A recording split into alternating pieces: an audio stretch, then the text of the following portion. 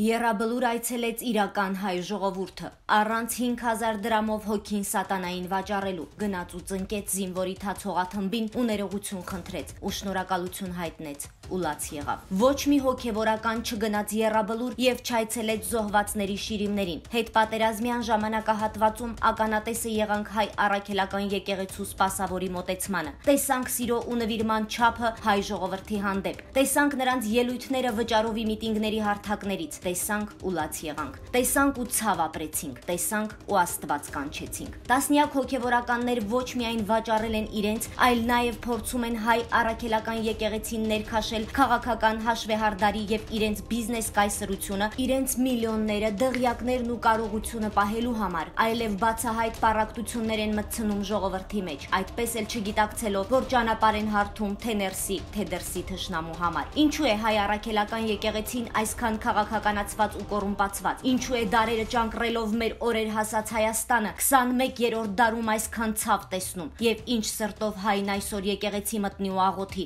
երբ անաստվածները Աստծո տունը դարձրել են վաճառասրա, հոգիների վաճառասրա։ Մինչև 17 կուսակցությունները շարունակում են Հայաստան աշխարի բնաջնջման պլանի իրենց անհեթեթ գործողությունները, Ադրբեջանը ոչ միայն զարգանում է մեծ թափով, այլ նաև Արցախի գրավված տարածքներում ճանապարհներ է կառուցում։ Իսկ Ֆիզուլիում արդեն սկսել են բնակելի թաղամասերի կառուցապատման համար հողատարածքներ վաճառել մասնավոր ընկերություններին։ Մինչ ազգադավները կշարունակեն պղծել Սևազգեստ մորսուքը, Ադրբեջանը Արցախում նոր քաղաքներ, գյուղեր, դպրոցներ, համալսարաններ, զորամասեր կկառուցի։ Մենք էլ կնայենք ու կզարմանանք, թե ինչպես ստացվեց, որ մենք մնացինք տեղում դոփելիս, իսկ նրանք մեծ լոնքերով առաջ անցան, մոռանալով, որ 30 տարիների ընթացքում մենք ոչ միայն առաջ չգնացինք, այլ ականատես եղանք, թե ինչպես են մեր լուր տարապանքի վրա թալանում երկիրը։ Սարսափելին այն է, որ այսօր այդպես էլ չեն լռել Արփինե Հովանիսյաններն ու Աշոտյանները, ովքեր շարունակում են կեղծ լուրեր տարածել, պարակտություններ մտցնել,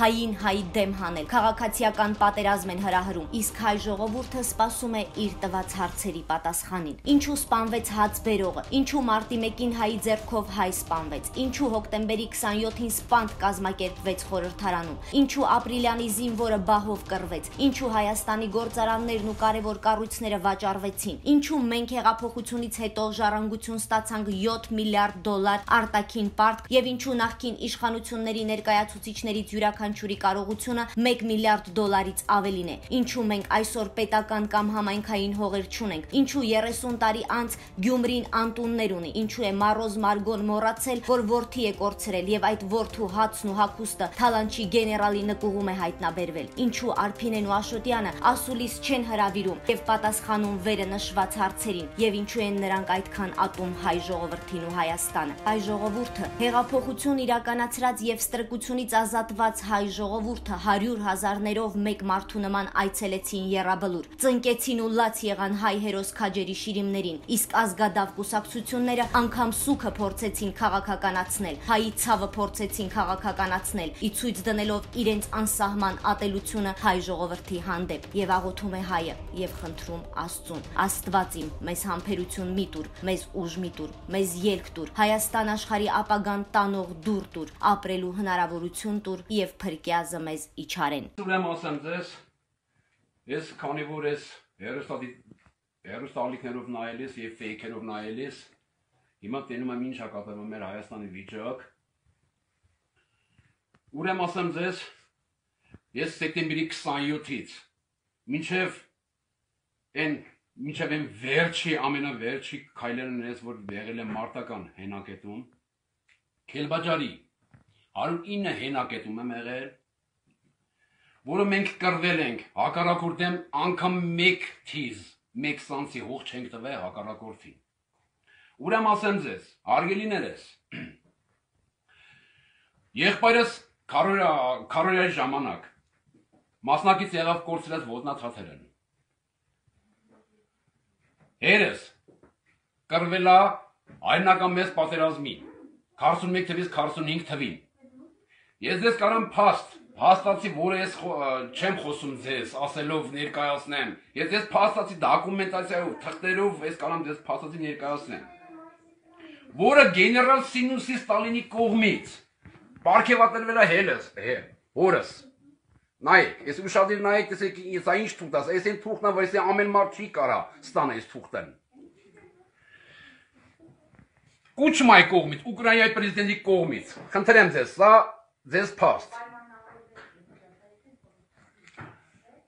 Ռուս ճապոնական, որը ինքը ապարքեվատրվել է։ Ռուս ճապոնական ազատագրման Եվս Պրագայ ազատագրման։ Ասեմ ձեզ սա փաստ էսել Մարշալ Բաղրամյանի կողմից մեդալան, որս, որ ինքն արժանացել է այդքան մեդալների եւ ապարքեվատրումների եւ շարունակական սա Ադեշտինի վայնի նկարնա մեդալան իրա զիվյոդիշկենա, ասեմ ձեզ, Ու ինչ եմ ուզում ասեմ սա ներկայացնելով, որ տանից մենք հերս եղել է հայրենական մեծ պատերազմի ժամանակ կրվին 41 թվից 45 թվին ամասնակից եղե, աղբերս Քարորյային ամասնակից եղե։ Հիմա եւս ես 16 տարի շարունակ ծառայում եմ հայոց բանակում։ Պաշտպանում եմ մեր դիրքերն, որ անգամ, անգամ հակառակորդը ոչ դնի մեր այն հողի մեջ։ Ա, ի ներողություն, ներողություն մի բան ասեմ ձեզ։ Էս որ ֆեյքերով գրի եք առնում։ Վարդինիսում թուրքն եկել է, մտել է ռեստորանում հաց հակել է։ Ինձ ֆեյքով է գրի առնող են։ Էտա ելույթ են, ավար ելույթ են ունենում։ Ելույթ են ունենում։ Բեդ ինքն բայ քիչ բռնած է թուրքին։ Էդ որ ինքն գրել է, ֆեյքում նա կարել է, քցել է։ Բիտ քիչ ելնում բռնե, վզից բռնել բերել ներկայացնել մեր պետական մարմինների։ Բայց բռներ ոչ թե սուտ ռեպլիկաներ բաց թողեն։ Ու մեր Վարդինիսի նախ առաջին Վարդենիսի պատիվն գցե, երկրորդը մեր զինվորների, մեր ծառայող տղերքի, որ այսօր անմիջական կանգնած են սահմանի բերան, հակառակորդի դեմ։ Սա ինչ է, սա ինչ կապիկություն է։ Սա ის ինչ կապիկություն է։ Նախ ասեմ ձեզի, հիմա ես մի բան եմ ուզում կներեք, ես մի արտահայտվեմ, քանի որ մեր Սիրելի հարգարժան պարոն Վազգեն Մանուկյանն ելելա բեմին ելույթ ունենում։ Ասում է ձեզ փրկում ենք։ Ումից է փրկում։ Մեզ, մեզ է փրկում։ Երես կրնելա ռուս արենական մեծ պատերազմի փրկե իրանց։ Հիմա ես փրկել եմ իրանց։ Աղբերս քարորային փրկելա իրանց, այսօր իրանք դուրս են եկել բեմին, ասում են մենք փրկում ենք ձեզ, բայց ումից։ Ուրեմն ես ձեզ ասում եմ հստակ իմացեք դա Մեր գերագույն հրամանատար մեր արգարժան պարոն վարչապետ Նիկոլ Փաշինյան։ Ես անձինս ինքս կողմից ասում եմ ձեզ շնորհակալություն եմ հայտնում ձեզ։ Միանշանակ։ Եվ կարող եմ ասել զինվորներ Ուրեմն ասեմ ձեզ արգելիներս խոսքս մնաց կիսած ուզում եմ շարունակել։ Ես անձինս կարող եմ ասել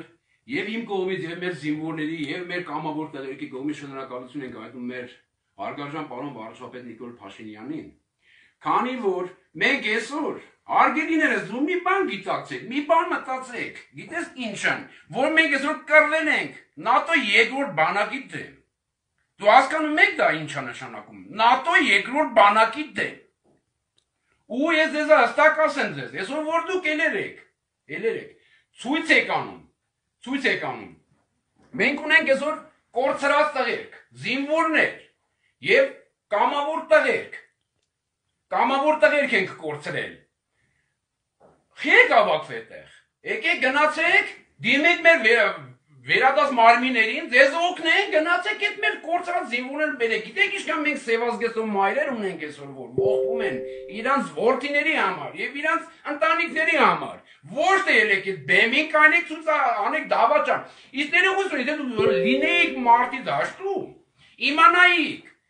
ինչա կատարվում ձեր դեման, ձեր դեման ով է կանգնած։ Իմանայիք, որ այսօր